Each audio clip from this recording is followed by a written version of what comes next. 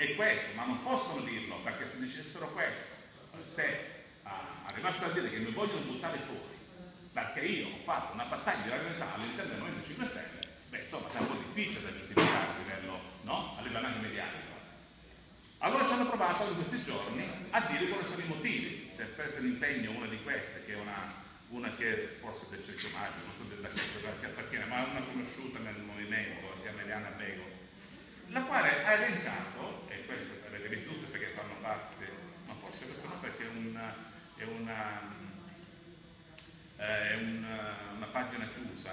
eh, io l'ho avuta perché qualcuno da dentro non riuscito a farmela avere. Questa qua dice esattamente una serie di, di dati, di contesti, che sono probabilmente quelli che vogliono far passare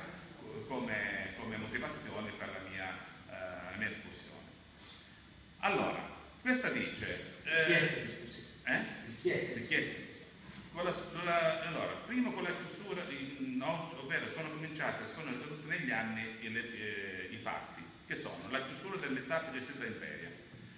quindi io avrei chiuso un'etapa di Imperia, poi avrei espulso la candidata da lista C, eh, avrei, eh, con l'espulsione da parte dei partecipanti, ah ecco,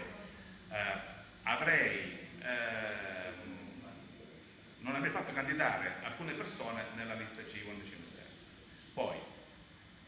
con la mia uscita in cui espellevo la consigliera comunale Cara Gloria al 5 Stelle, con il mancato rispetto del, del, regolamento quando ho detto di votare eh, Paolo De Mare in maniera pubblica alle, alle regionarie,